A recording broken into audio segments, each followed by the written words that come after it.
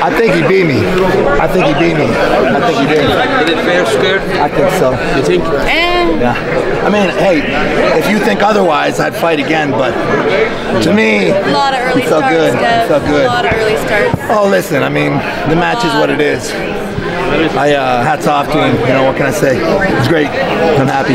Yeah. Thank you, I, man. I, I thought when you beat him in hook, he was exhausted. I thought so too. Yeah. Hey, hey. I maybe played it a bit wrong, but uh, You never expected this. You didn't expect him to have such endurance.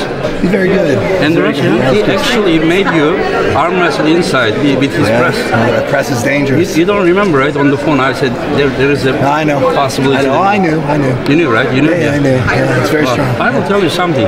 Before pre-match, you are an ass.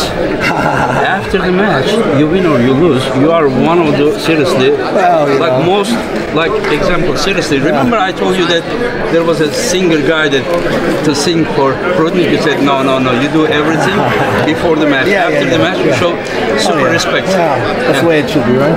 Thank you, Engin.